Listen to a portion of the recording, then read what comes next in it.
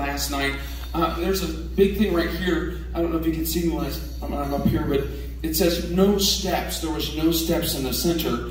And uh, I said, I need steps in the center because there's I always go down off the platform in the middle, and whether there's steps or not, at some point I'm going to walk right off this part, and I want there to be steps there, so they put steps there. Um, but it's a little bit dark to have uh, kids. So anyone here tonight, 12 or under, if you're 12 or under, hand me those guys so I can have them. 12 or under, I'm going to teach you how to play the only instrument that I know how to play, and that's the jingle bells. Anybody 12 or under, wave at me if you're, we got to have some. There's one right here. There's one down there, and one down to him. All right, anybody else 12 or under down there? I see? Two more. Two more down there, that's what I thought.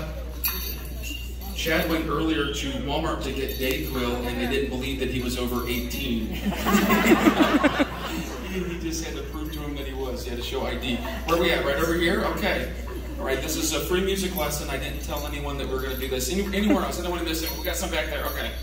Well, these are tangled together, so we got a brother and sister or somebody. Yeah, take, take, well, let's see.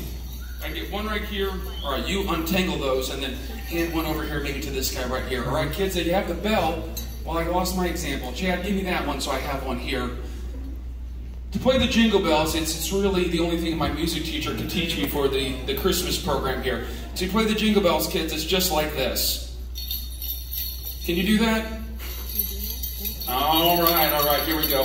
And I got this little guy up here. I'm going to give him one right here. So whenever I point to you during this song, you got to play the Jingle Bells. You didn't know you were coming to play along with the Ball Brothers, but here we are. Let's go.